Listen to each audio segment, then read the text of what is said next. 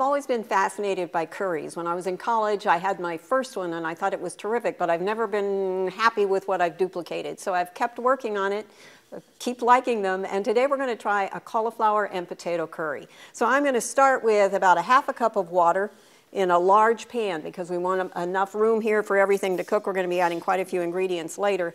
And to that I'm going to add about one medium onion that's been chopped up, uh, I also, uh, you could measure it out, it'd be about a, about a cup of onion. We're going to let that uh, just cook in the water basically for eh, about three minutes until it starts to uh, become a little translucent. We're reducing the amount of fat here. If you wanted to cook this in a little bit of vegetable oil, you could do that. I'm trying to cut the calories back on this just a tad.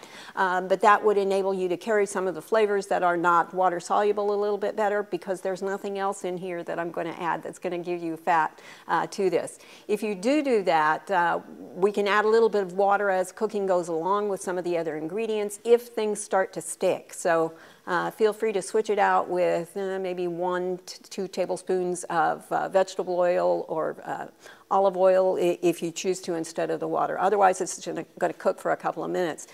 We'll assume that has happened, and I'm going to add to that about um, three to five red potatoes. I want to make sure that you're using a potato that's going to hold its shape as it cooks. If you use a russet potato, it's going to fall apart. Makes a great mashed potato or a potato soup, uh, but doesn't do as well for something like this. So um, we're just going to add those. I've cut them into fairly big chunks.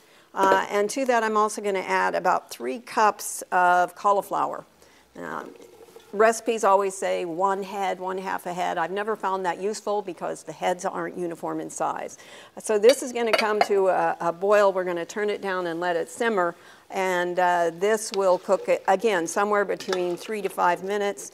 If, again, you start to run out of water, add a little bit more because if potatoes scorch on you, you're not going to be able to go back and get that out of there. You're just going to have to start over because you won't cover up the flavors of the uh, the potato, uh, the scorch. So I'm gonna, while that's uh, working, we're gonna try and find the right burner here, and I'm gonna uh, start working on the uh, spices that are going to go in with this.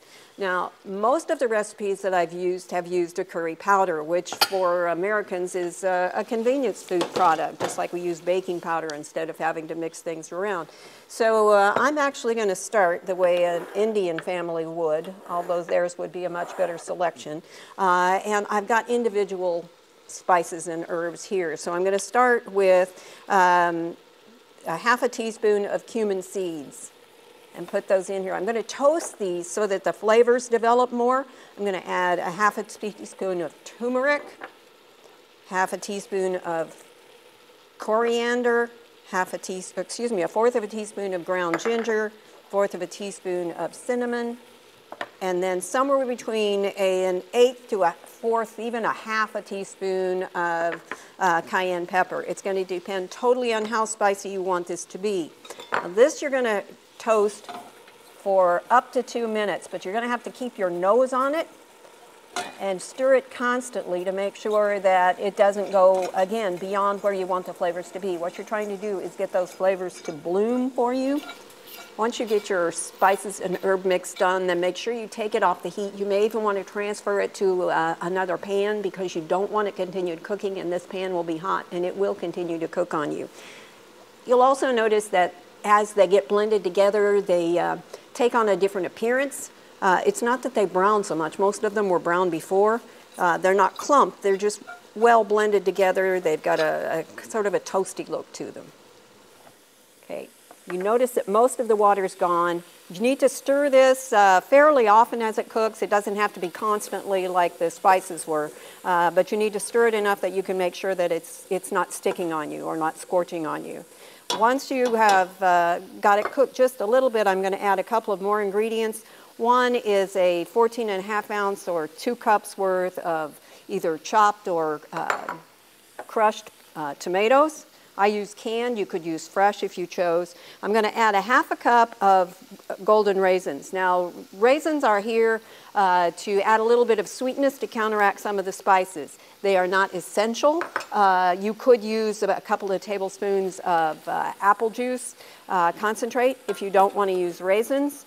Uh, and then also I'm going to add our spice mixture.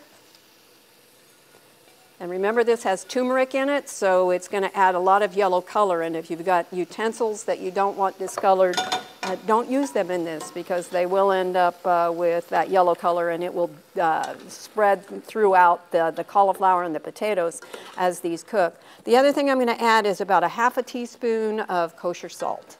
And that's going to help tie all those flavors together. About 20 minutes. Again, check it from time to time to make sure that it's not sticking. Uh, turn it down if you need to. It just needs to be at a simmer, and some of the liquids are going to come out of some of those vegetables, and it's going to make a great sauce to go with it. All right, doesn't that look great? You've got all that great color now. Instead of white potatoes and white cauliflower, you have this beautiful golden color mixed in with the red. We're going to serve this over some brown rice. And I think you're going to find that uh, if you're a curry fan, this is a terrific recipe to start with because you can start with this blend of herbs and spices and make it more spicy. You can mellow it out with a few more raisins. You can just really play with it. I'm just going to put on some, some parsley, the cook's friend here, just to make it look prettier. Uh, I hope you'll give this one a try. Uh, it's cauliflower and potato curry. For Oklahoma Gardening, I'm Barbara Brown.